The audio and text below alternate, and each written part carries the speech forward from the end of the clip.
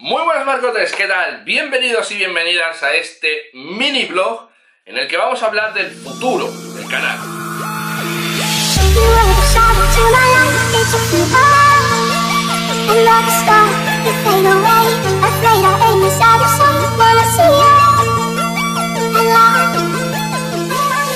Y es que el futuro es incierto, el futuro no está escrito, no hay nada decidido, olvídate.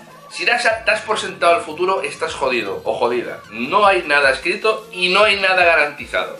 Por eso, quiero hablar del futuro del canal.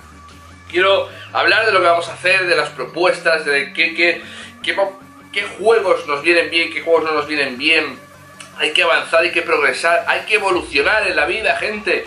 Por eso este vídeo, este mini blog en el que vamos a hablar un poquito, en poquito tiempo, de muchas cosas. Y es que en esta nueva temporada digo, coño, vamos a ver, estamos, ¿qué juegos tenemos? ¿Qué juegos? Eh, tengo una lista de cerca de 30 juegos. Y, jugamos a los 30 juegos? Evidentemente no. Evidentemente no.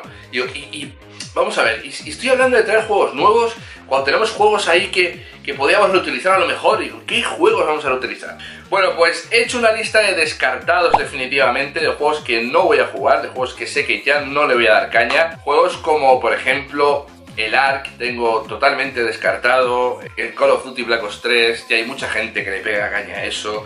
El The Primal Hunter este, que me lo descargué también hace tiempo y, no llegamos tampoco a jugar así en plan, en serio. El Battlefront, eh, o sea, son juegos que definitivamente creo que no son lo... no sigue la línea argumental del canal.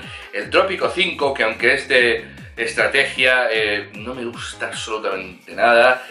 Y entrecomilladamente, dentro de los descartados también se encuentra el Emergency 5 por sus continuos bugs, sus problemas que no terminan de solucionarse, tiene bugs ridículos y estúpidos pero que te joden misiones y luego que las misiones son muy reiterativas, es todo como muy cíclico, ¿no? Un poquito, un poquito de agua porque me voy a la garganta, mi niño, espera un momento. Otro juego que también te doy, doy, por descartado es el Rust. El Rust me da pena porque es un juego que me... O sea, me lo, tenía un hype que no os podéis imaginar.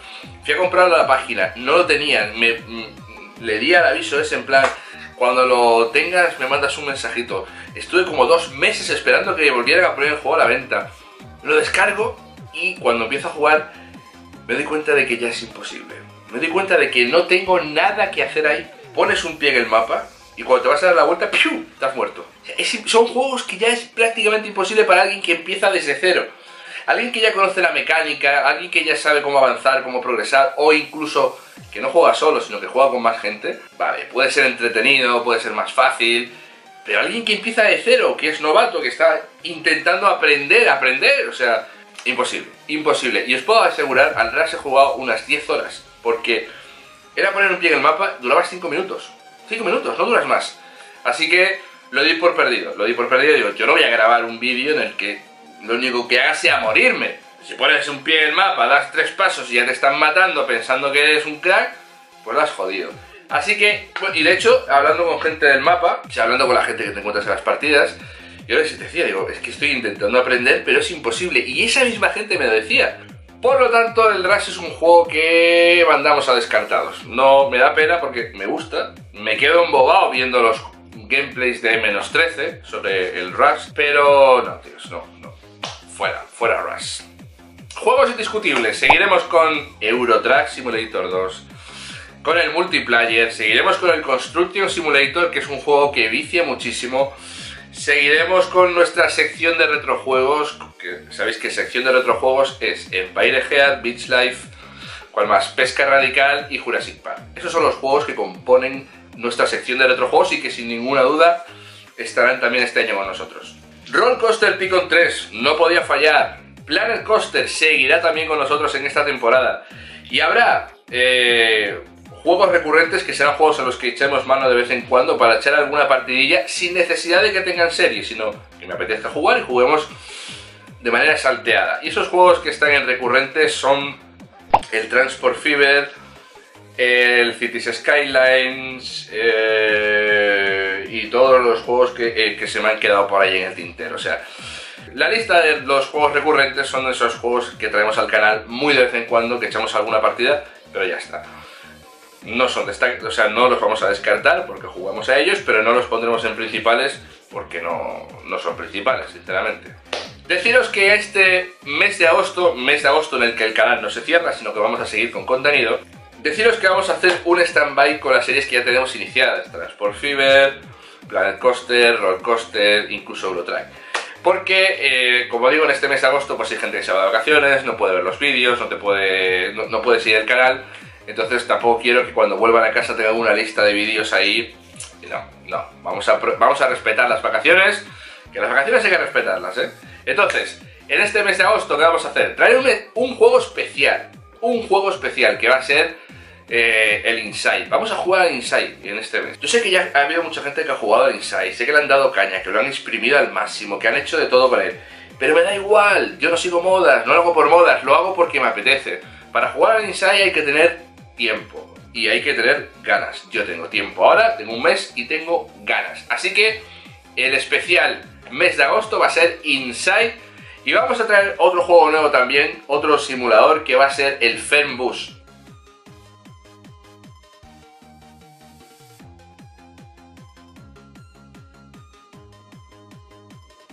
Train Simulator 2016, que es un juego que me costó 39 euros, y es un juego que te viene capao. Eso es un negocio, porque es un juego que se vende por fascículos, sí, se vende por fascículos. ¿Que quieres una locomotora un poco tocha? ¡Pum! ¿Que quieres una ruta un poco tal? ¡Pum! Puedes añadirlo, puedes añadirlo. Hay una especie de programa que tú vas al, archivo, te lo añade, pero tienes que entrar en el juego, activar los providers, ir, guardarlo como una partida, no sé qué. ¡Un coñazo! ¡Un coñazo! Yo me compro un juego para jugar a él. Me compro un juego para darle clic y se te abre la pantallita y ahora, a jugar, a jugar. No para tener que estar haciendo un hackeo absoluto al juego, a todo el sistema. ¿Qué me estás contando? ¿Qué me estás contando? Bueno, tal. Train Simulator descartado, Flight Simulator descartado también. Y es una pena, pero es así. Sabéis que los blogs, sobre todo los car blogs, o sea, para mí el car blog es como el, es como el Eurotrack. Hacer un blog en mi coche es como el Eurotrack, tíos. Empiezo a hablar, me abro mucho más, o sea, porque estás pendiente de la cámara, estás pendiente de la carretera, entonces hablas, hablas sin problema. Empiezas a hablar, hablar, hablar. Y ese tipo de blogs, los car blogs seguirán estando en el canal, sí o sí. De hecho, esto, esto iba a ser un car blog, pero para hacer el vídeo ya, para empezar agosto ya, pues digo, no, no, venga, vamos a sacar la cámara, preparado todo y hazlo en el estudio. Por lo tanto, el tema de los blogs seguirá estando sí o sí con nosotros en el canal también. American Truck Simulator es un juego que me ha decepcionado bastante, la verdad.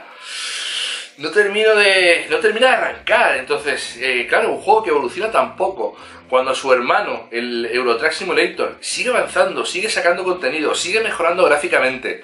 Claro, te quedas un poco ahí en 33 y dices, vamos a ver. Gráficamente, el American Track para mí es superior al Eurotrack. Pero es cierto que de contenido va muy mal si tardan más en actualizar el juego que Netflix.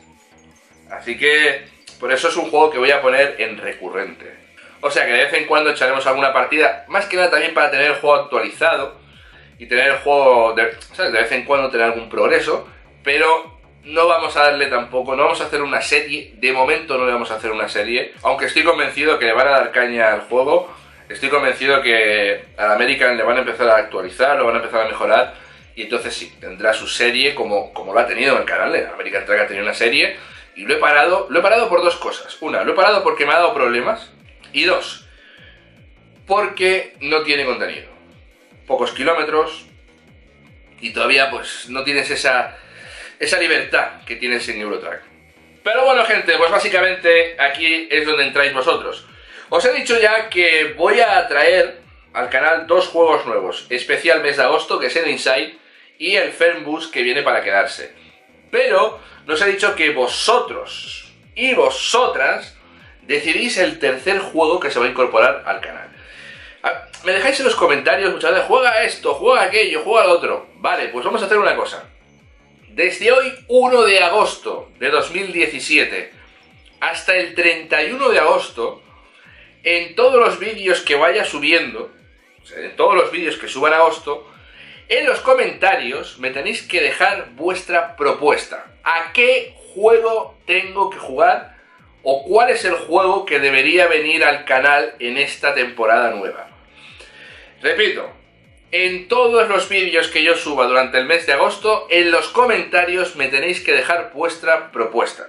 Y al final, en el mes de agosto, el día 31 de agosto, haré otro blog dando o diciendo cuál es el juego elegido, el juego que más apoyos ha tenido y por lo tanto cuál es el juego del pueblo que llegará en el mes de septiembre. Tú decides.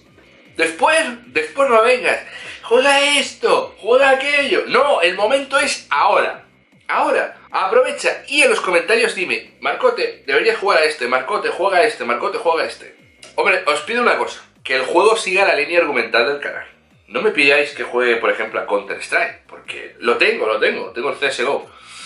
Pero hombre, sería un juego para hacer serie, para hacer una serie, para jugar durante un tiempo prolongado, ¿vale?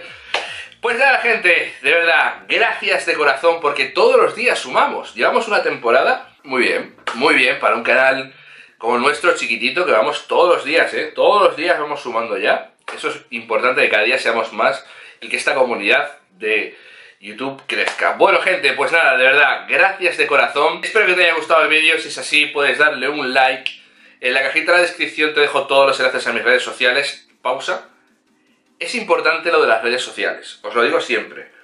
En las redes sociales, bueno, en Twitter, en mi Twitter, es donde vuelco toda la información del canal, lo que vamos a grabar, el juego que vamos a traer, si vamos a hacer un directo, si vamos a hacer...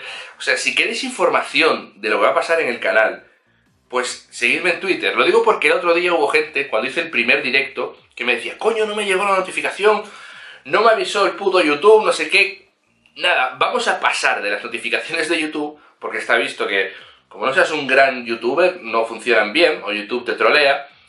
Por eso que si queréis estar informados de todo lo que pasa en el canal, seguidme en Twitter, de verdad. Y lo tenéis en la cajita de la descripción. Y nada, comenta, recuerda, aprovecha, aprovecha, aprovecha. Recuerden dejarme en, los comentarios cuál es tu propuesta de juego para la nueva temporada del canal. ¿Qué juego propones? Déjame en los comentarios. Nada, gente, le dejamos aquí, que no se haga demasiado largo el vídeo. Espero que os haya gustado mucho. Gracias por vuestro apoyo, gracias por todo. Nos vemos mañana. Mañana hay vídeo con el juego nuevo. No sé si Inside o Boost, tengo que pensarlo. Seguramente será Inside. Nada, gente, muchas gracias. Felices vacaciones. Chao.